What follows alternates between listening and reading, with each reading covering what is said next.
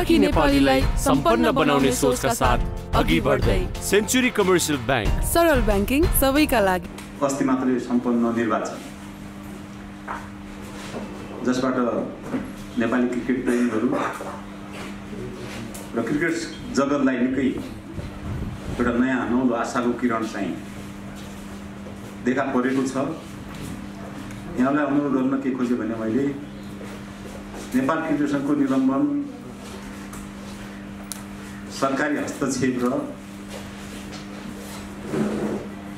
निष्पक्ष निर्वाचन नभएको भन्दै आइसिसीले निलम्बन गरेको साढे तिन वर्ष ठ्याक्कै पुरा भयो अस्ति वैशाख तेह्र गति त्रिहत्तरमा गरेको अस्ति मात्रै साढे तिन वर्ष भयो आज मात्रै भयो र निलम्बन आइसिसीले गरेको हो र निलम्बन फुकुवा पनि आइसिसीले गर्ने हो त्यस कारणले मैले यहाँलाई के अनुरोध गर्न खोजेँ भने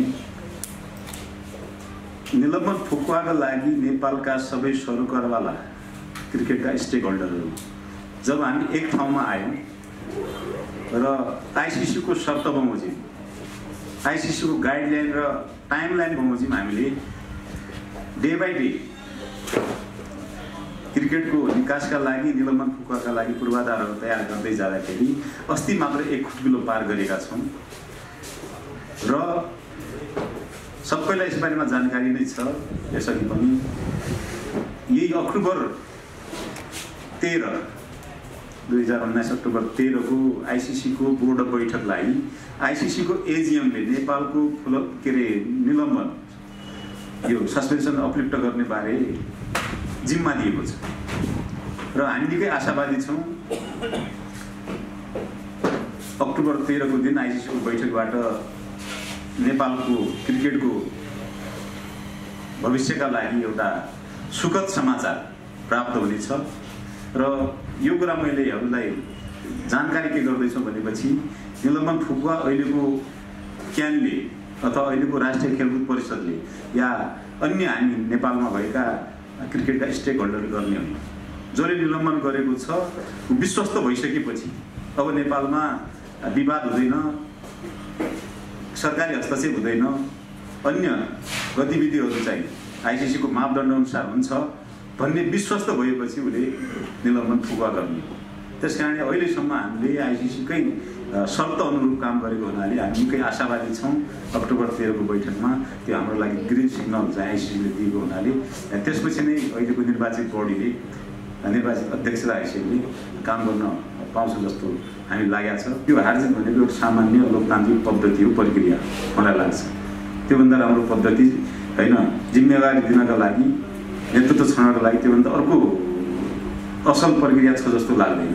त्यस कारणले अब हामीले के जित्दै गर्दा विजय हासिल गर्दै गर्दाखेरि पराजित हुनुभएको साथीहरूलाई किनभने उहाँको पनि क्रिकेटमा इच्छा छ भोलिन्ट्री सर्भिस गर्ने भोलिन्टियर भएर काम गर्ने इच्छा छ पहिला पनि गरिराख्नु भएको थियो त्यही भएर त पदाधिकारी सदस्य हुन खोज्नु भएको त्यस कारण उहाँको पनि इच्छाको कदर गर्दै उहाँहरूका सकारात्मक पक्ष उहाँहरूको पनि कुनै कार्य योजना उहाँले क्रिकेटलाई गर्न दिन गर्न सक्ने पोजिटिभ सल्लाह सुझाव सँगै लिएर उहाँको सरसल्लाहमा क्रिकेटलाई नेपाली क्रिकेटको विकासका लागि विकासका लागि नेपाली क्रिकेटलाई अझै माथि पुर्याउनलाई उहाँलाई हामी ससम्मान रूपमा उहाँसँग सल्लाह गर्छौँ उहाँलाई त्यही किसिमले क्रिकेट सङ्घको एउटा जिम्मेवार सदस्य हैसियतले उहाँहरूलाई आदर गर्छौँ क्यानमा म आउँदै गर्दाखेरि पनि सस्पेन्सन त पाँच छ महिनामा भयो।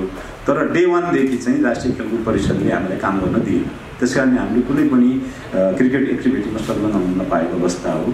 अब त्यो पुरानो परिस्थितिलाई हामी सबैले बिर्सेर अहिले सबै एक ठाउँमा आइसकेका छौँ।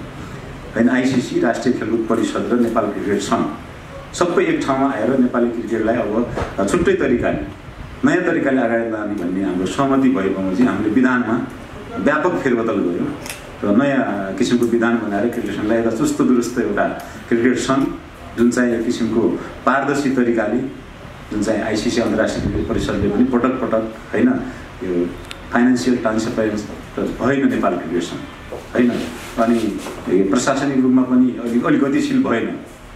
चुस्त दुस्त प्रशासन भएन भन्ने किसिमको बेला बगत प्रश्न उठाइरहने र त्यही कारणले विगत चार वर्ष होइन त्योभन्दा पनि दुई वर्ष अगाडि छ वर्ष झन्डै छ दुई वर्ष अघि पनि उसले फन्ड रिलिज गर्दाखेरि धेरै कटौती गरेर फन्डहरूलाई रिलिज गर्दै आएको थियो। त्यसबारेमा हामी आइसिसीसँग निकट सम्पर्कमा रह्यौँ। विगत चार चार चार वर्षमा सल्लाहमा रह्यौँ र अब त्यो कुरा आउन दिन्नौँ। अनि फाइनेन्सियली चाहिँ पारदर्शिता र क्रिकेट सङ्घको प्रशासनलाई कसरी नयाँ ढङ्गले चलाउन सकिन्छ भन्ने एउटा सरसल्लाह भएको छ। वै विधानमा पनि व्यवस्था भएको छ क्रिकेट सङ्घको एउटा जिएम जो चाहिँ ओपन नोटिसबाट चाहिँ नियुक्त गर्ने फाइनेन्स म्यानेजर क्वालिफाइड प्रोफेसनल के अरे कर्मचारीहरू हामीले नियुक्त गर्ने भन्ने छ। त्यसले चाहिँ क्रिकेट सङ्घलाई चाहिँ एउटा निष्पक्ष रूपमा र व्यावसायिक रूपमा अगाडि सार्छ। त्यो हाम्रो एउटा पहिलो योजना भइहाल्यो। निलम्बन पुगेपछिको पहिलो योजना चाहिँ त्यसमै लाग्छ। चार वर्षदेखि काम त सबै खाली छ किनभने नेपाली क्रिकेटको विकासको मुख्य आधारशिला भनेको हाम्रो घरेलु क्रिकेट हो। डोमेस्टिक क्रिकेट चाहिँ झन्डै चार या पाँच वर्षदेखि नै धाराशायी छ।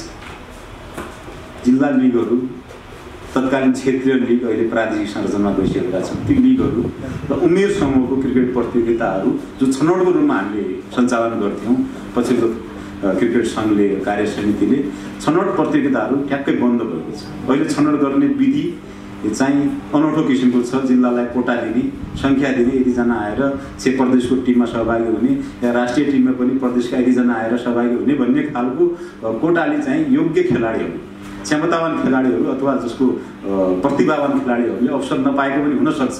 पाएको छैन त म भन्दिनँ। नपाएको हुनसक्छ त्यो विधि चाहिँ प्रतियोगिता खेलाएर मात्रै क्रिकेट खेलेर मात्रै खेलाडीहरूको भनौँ न स्तर चाहिँ निर्धारण गर्न सकिन्छ।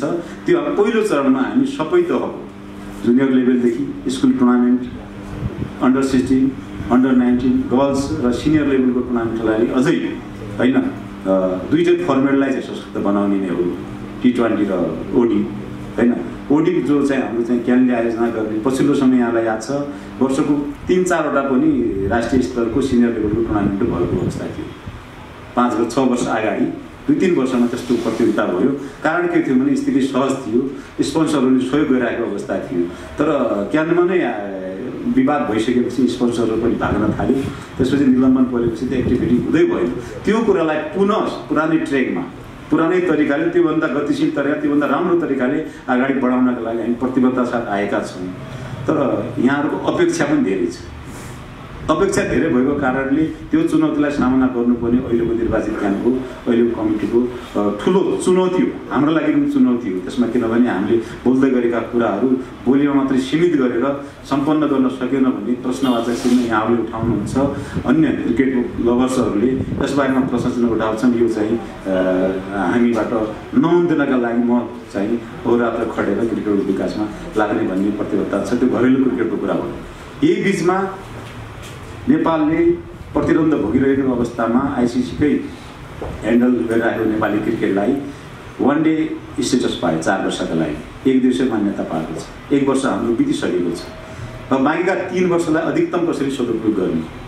कसरी लबिङको आधारमा र अन्य के अरे आइसिसीकै सल्लाह सल्लाहमा बढीभन्दा बढी नेपालभन्दा अढी अलि माथि माथिल्लो स्तर भएका डेस्टिनेसन नै भनौँ। अथवा वान डे स्टेसन पाएका कन्ट्रीहरू अलिकति नेपालभन्दा अलिक जो अगाडि छन् उहाँहरूसँग बढीभन्दा बढी चाहिँ अभ्यास म्याचहरू खेल्न पाएर सिरिजहरू खेल्न पा पाउने अवसर जुटाएर नेपाली खेलाडीको स्तर र नेपाली टिमको स्तरलाई बढाउनमा चाहिँ प्रयास गर्नुपर्छ जस्तो लागेको छ। त्यो भनेको हाम्रो आधार के हुन्छ भनेपछि वर्ल्ड कप क्वालिफाईका लागि एकातिर त वान डे स्टेजलाई हामीले कायम राख्यौँ।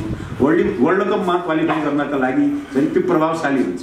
त्यसका लागि बढीभन्दा बढी मलाई के लाग्छ भने त्यसको बढी सदुपयोग छिमेकी राष्ट्र मित्र राष्ट्र भारतको बोर्ड बिसिसिआईसँग समन्वय सरसल्लाह गरेर बढीभन्दा बढी उपयोग त्यो चाहिँ गर्न सकिन्छ।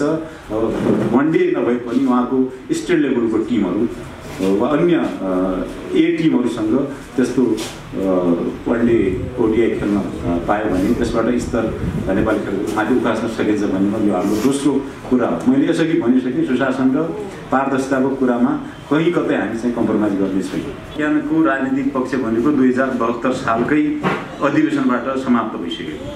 यहाँलाई म विश्वास दिलाउन चाहन्छु। सरकारले मान्यता दिए पनि नदिए पनि क्यानको निर्वाचन चाहिँ गैर राजनीतिक थियो दुई हजार बहत्तर सालको एजिएम।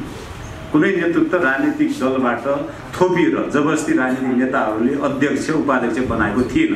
हालाकि सरकारलाई चित्त नबुझेपछि त्यो विलम्बनमा पर्यो। त्यो छुट्टै घटना हो। र त्यसलाई पनि त्यसको जसका कारणले बहत्तरको घटनाले हामी यहाँसम्म आइपुग्यौँ। अहिले आएर हामी एक ठाउँमा पुग्नुको कारण पनि त्यही हो। सबैले थाहा पायो हामी आपसमा लडाइँ झगडा गऱ्यौँ भनेपछि लुचाचुडी गऱ्यौँ भनेपछि होइन सत्ताको लागि के अरे क्रिकेटमा पदका लागि हानथाप गऱ्यो भनेपछि चाहिँ नेपालको के अरे क्रिकेटको दशा के पुग्यो भन्ने सबैले थाहा पाएपछि अहिले सबै निकाय खास गरेर तपाईँ के अरे राष्ट्रिय खेलकुद परिषद र नेपाल क्रिकेट सङ्घ सम्बन्ध सबै एक ठाउँमा आएको अवस्था हो। तपाईँले हेर्नुभयो निर्वाचन कस्तो शान्तिपूर्ण तरिकाले निष्पक्ष तरिकाले लोकतान्त्रिक पद्धतिले भएको छ। जिल्लादेखि लिएर केन्द्रसम्म। त्यसबाट मलाई के लाग्छ भने राजनीतिक पक्ष अब छैन। क्रिकेटमा आउँदै गर्दाखेरि राजनीतिक व्यक्तिहरू राजनीतिक विचारधाराका व्यक्तिहरू अवश्य रूपमा नेतृत्वको लागि आउन सक्छन्। तर सङ्घभित्र छिरेपछि सङ्घमा काम गर्दै गर्दाखेरि राजनीतिक झल्को कहीँ कतैबाट देखिनुहुन्न? कमसेकम मेरो पनि कुनै राजनीतिक आबद्धता या विचारधारा होला। तर त्यो मेरो प्रतिबद्धता के हो भनेपछि राजनीति कुनै किसिमको राजनीतिक झल्को त्यहाँ हामी देखि देख्नु हुने हुनुहुने छैन तपाईँहरू होइन? राजनीतिबाट क्रिकेट सधैँ माथि उठेर सबैको साझा चाहिँ क्रिकेट सङ्घ हुनेछ यसमा प्रतिबद्ध छौँ। नेपाल क्रिकेट सङ्घलाई आइसिसीलाई दिनुपर्ने पैसा बुझाएर चाहिँ स्वीकृति दिएको अवस्था थियो। त्यसबारेमा पहिलो चरणमा हामीसँग पनि नेपाल एडभाइजरी ग्रुपका आठजना या निलम्बित क्यान क्यानका अध्यक्ष महासचिवलाई पनि व्यक्तिगत धारणा सोद्धाखेरि हामीले क्यानले कुनै पनि प्रतियोगिता गर्न नसकेको अवस्थामा डोमेस्टिक लिगहरू किन रोक्ने किन गर्नु नदिने? उहाँहरूले आफ्नो लगानीमा गर्दै हुनुहुन्छ तर त्यो कानुनसम्म हुनुपर्छ। त्यसमा कसैको स्वार्थ कतिसम्म जोडिएको छ। होइन त्यो चाहिँ हामी हेर्छौँ। मानव मैले उदाहरणको लागि मैले पटक भनिरहेको छु।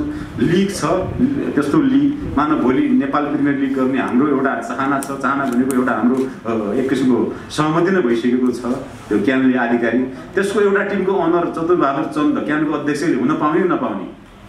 त्यस्तो कुरा त्यहाँ जोडिएको छ भनेपछि क्रिकेट सङ्घ आबद्ध पदाधिकारीहरूले होइन त्यस्तो किसिमको जोडिएको छ त्यसबारेमा चाहिँ हामी चाहिँ पुनर्विचार गर्नुपर्ने नै हुन्छ। अन्य राष्ट्रमा पनि यो प्रिमियर लिगहरू छन्।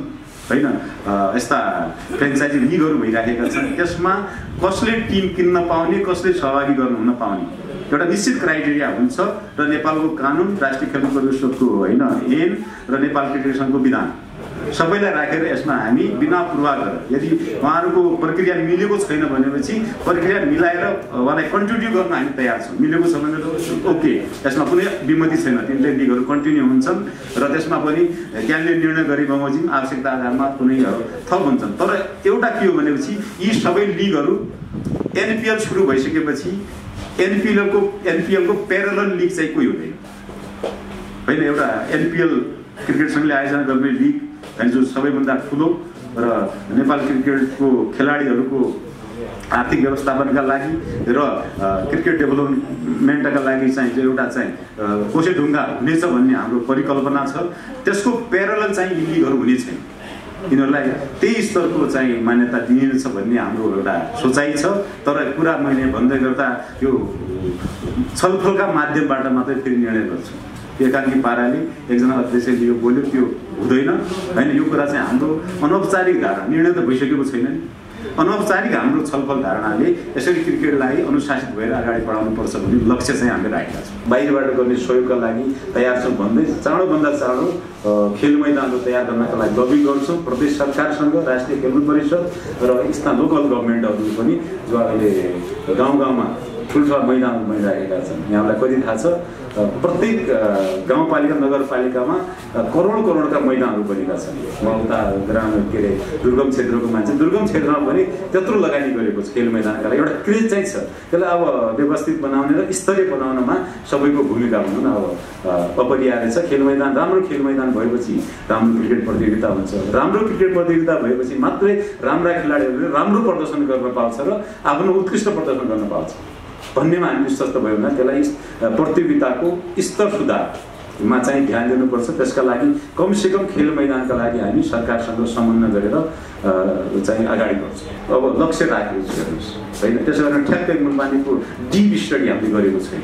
किन भनेपछि मुलपानी त हामी म मै नगएको एक वर्ष भइसक्यो जान नपाएको। होइन त्यस्तो अवस्थामा छैन। किनभने मुलपानी गएपछि अफिस स्टाफलाई हामी तलब दिइसकेका छैन तिन वर्ष। होइन पीडा त छ नि।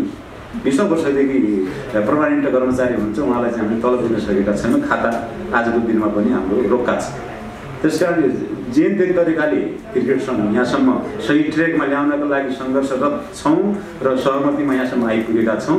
त्यस कारणले अब मुलपानीको बारेमा म साथी भोलि गएर त्यस बारेमा आफ्नो तरिकाले हामी साथीहरू गएर केही स्टडी गर्छौँ। त्यसमा हामीले गर्नु सहयोग पहल गर्ने सामाजिक त्यो खालि मुआवजा छ नि त्यस बारेमा पनि हामीले सामाजिक स्तरबाट गर्न सक्ने प्रयास हामी गर्छौँ। के अरे खेलकुद परिषदले गरिरहेको कामलाई हामीले सघाउ गर्नका लागि हामी कुनै कसर मागिरहेको खेलाडीसँग समुद्र सम्बन्ध कायम गर्नै पर्छ त्यहाँले त्यसको अर्थ के हो भनेपछि अनुशासनहीन कसैले बन्नु हुँदैन। अनुशासनलाई पनि पहिलो प्रायोरिटी चाहिँ दिन्छ त्यसका लागि पहिला हामी चाहिँ सबै कुरा काम अगाडि सुरु भएपछि प्लेयर्सहरूको सेन्ट्रल कन्ट्याक्ट गर्छ।